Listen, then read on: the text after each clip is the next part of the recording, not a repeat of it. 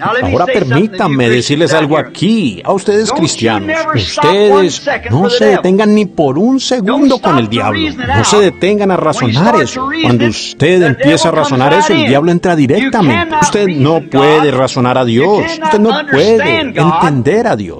Usted simplemente tiene que creerle a Dios. ¿Ven? Yo no puedo explicar a Dios. Nadie puede. Hay muchas cosas que yo no puedo explicar, pero solo yo lo creo porque Él lo dijo. Ahora, no hay ninguno de nosotros que pueda explicar eso. No traten de explicarlo.